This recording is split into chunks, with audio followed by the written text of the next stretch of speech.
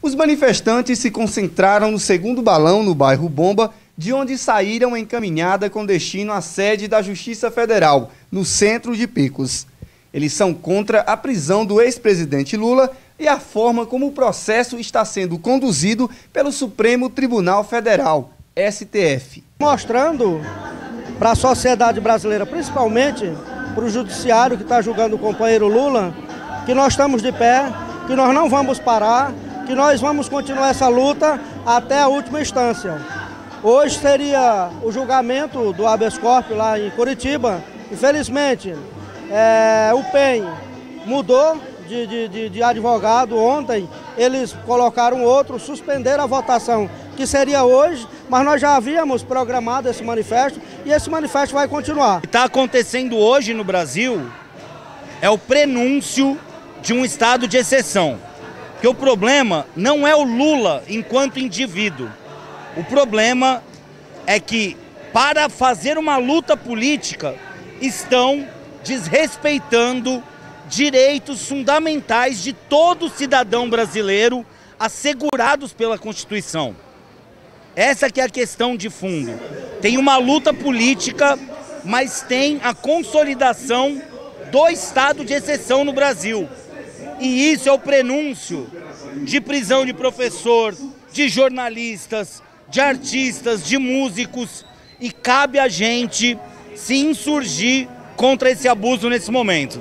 O ato foi organizado pelo Partido dos Trabalhadores e contou com o apoio de movimentos sociais, estudantes e centrais sindicais. Estamos aqui porque né, os trabalhadores rurais do município de Picos é, é unanimidade né, em defesa né, do nosso companheiro Lula né, um cidadão que foi aí é, presidente né, por oito, oito anos, né, teve aí dois mandatos, né, fazendo um bom trabalho, né, trazendo melhoria de vida para né, o homem, para a mulher do campo.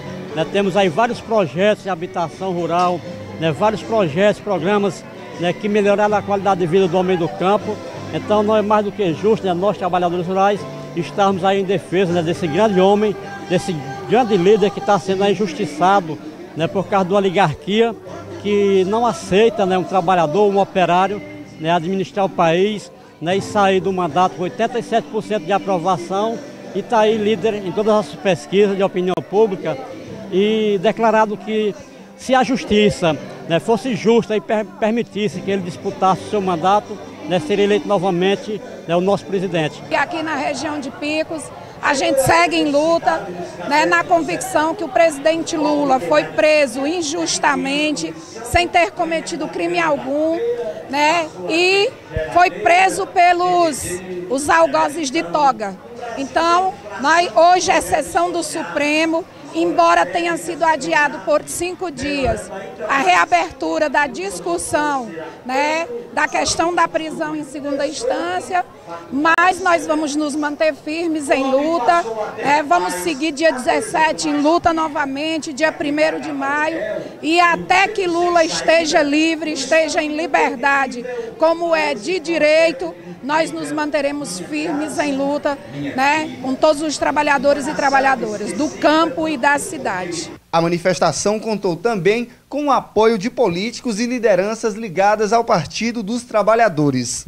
Estamos aqui né, nesse momento ajudando aí né, nessa manifestação os municípios da região de Picos, né? E Vila Nova não poderia deixar de participar desse momento, haja vista entendermos que estão fazendo né, uma grande justiça com o nosso presidente Lula, né? Presidente este que entendemos um dos melhores né, do, do nosso Brasil e principalmente aqui para o nosso Nordeste, especialmente para a nossa região de Picos, para o nosso município de Vila Nova. Nós, é, do movimento popular, da esquerda, a grande maioria da população, sobretudo aquelas pessoas mais carentes, né, os grupos de universidades, movimentos sindicais diversos, urbanos ou rurais, não temos a menor dúvida de que a prisão de Lula é uma prisão política.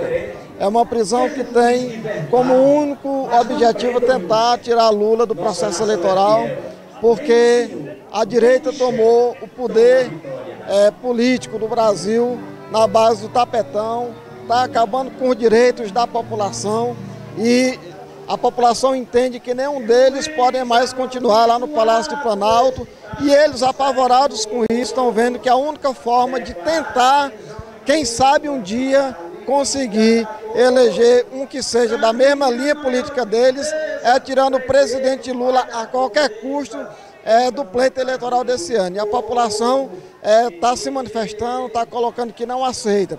Fala em questões jurídicas. Nós temos lá no TRF1, no TRF4, por exemplo, onde Lula foi condenado na segunda instância, vários processos muito, mas muito mais graves do que eles dizem que, culpa, que Lula ser culpado, que estão lá parados há dois, três, quatro, até cinco anos.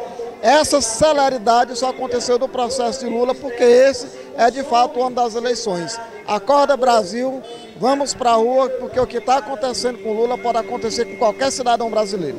O ex-presidente Luiz Inácio Lula da Silva foi preso no último sábado e permanece detido na sede da Polícia Federal em Curitiba.